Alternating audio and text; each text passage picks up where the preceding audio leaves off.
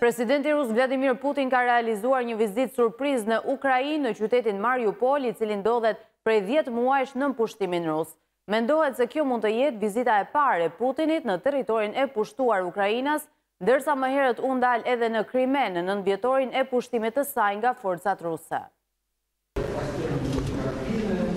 Presidenti rus Vladimir Putin ka realizuar një vizitë të papritur në Mariupol, qytetin ukrainas që tani kontrollohet nga forcat ruse. Si pasojë e luftimeve të ashpra për të fituar kontrollin e këtij qyteti, pjesa më e madhe e tij besohet se është e shkatërruar. Në disa pamje të publikuara nga media shtetërore shihet Putin duke lëvizur me një makinë që në orët e vona të natës.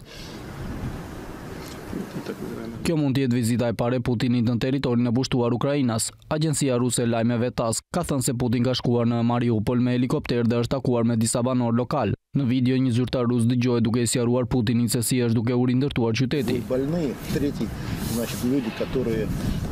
Mariupoli është nën pushtimin rus për më shumë se dhjetë muaj.